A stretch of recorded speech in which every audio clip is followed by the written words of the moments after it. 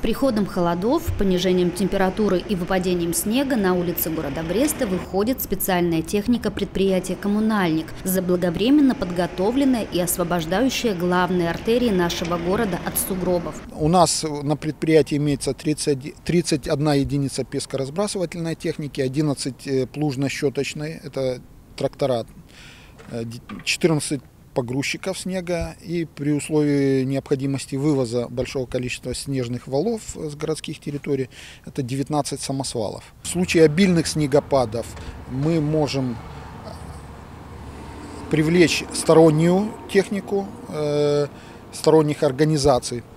Также нам помогает общественность. Есть машины, которые как бы переобуваются и из летних превращаются в зимние. Когда мы готовимся к зиме, к зимнему дежурству, мы снимаем борта, снимаем э, загрузочный модуль, э, ставим э, рум, так называемый, куда грузится песчано-соляная смесь.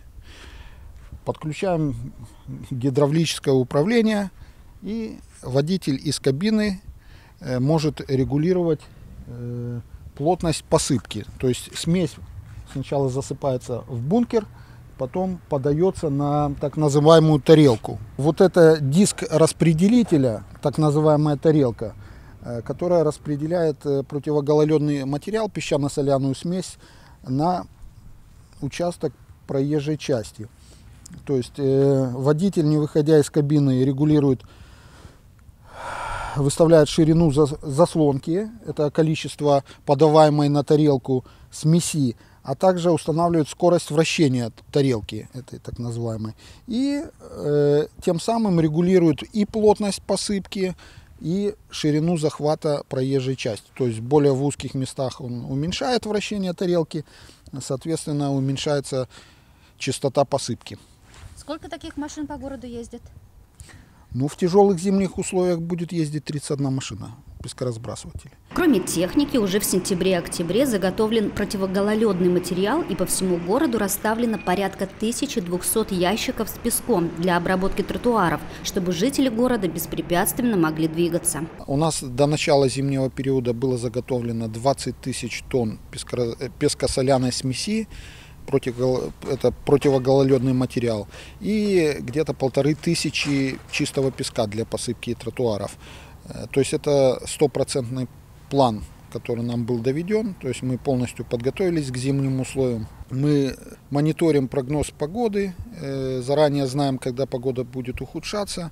Э, на данный период усиливаемся количеством техники, водителями, и заблаговременно можем выехать э, на улицы города, провести превентивную обработку противогололедными материалами проезжих частей улиц.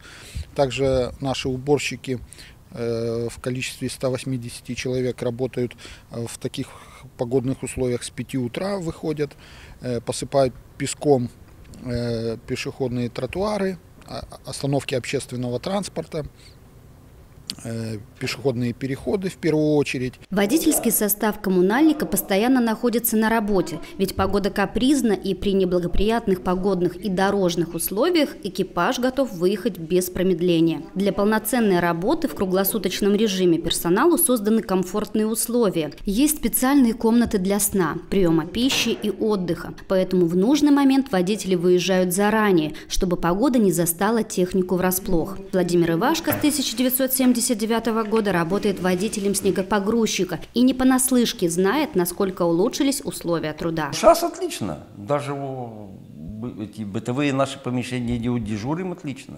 По сравнению с тем, что мы начинали, на нарах отдыхали, вот, как цыгане, то сейчас небо и земля, конечно. Одеяло, все такое, телевизор какой, только одно. Да и тут можно вот и погреть, и холодильник, и морозилка. Вот, конечно, условия намного лучше стали, но хотелось бы лучше, конечно, но лучше не и так хорошо. Каждый житель Бреста хочет максимально быстро видеть очищенными прилегающие к своим домам территории, но мало кто знает, что существует три очереди обработки улиц города. В первую очередь это так называемая красная линия. Это улицы с магистральным движением, где ходит общественный транспорт, а, а также больницы, подъезды к больницам, школам, детским учреждениям. А вторая, вторая линия – это второстепенные улицы, где не ходит общественный транспорт, э, но э, у нас все равно установлены директивные сроки очистки. Это после окончания снегопадов нам дается порядка трех часов на очистку и обработку э, дорожного покрытия.